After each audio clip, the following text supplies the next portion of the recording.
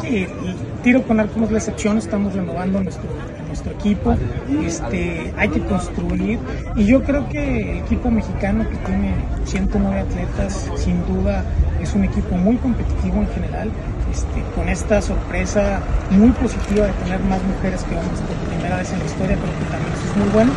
Y, este, y el tiro con arco siempre será un deporte eh, que estará peleando protagonismo, ¿no? Me parece que para México es un deporte importante y lógicamente somos un, un deporte que siempre está peleando los primeros lugares a nivel internacional. ¿Llevaremos medallas? Eh, sí, seguramente llevaremos medallas. ¿Se siente eso, vamos, se palpa en el cálculo que se hace? A ver, yo creo que todos los equipos venimos aquí por medallas, todos los atletas vienen por medallas, ellos han trabajado muchísimo con sus familias, con sus equipos multidisciplinarios y, este, y están aquí a la altura de, de cualquiera, ¿no?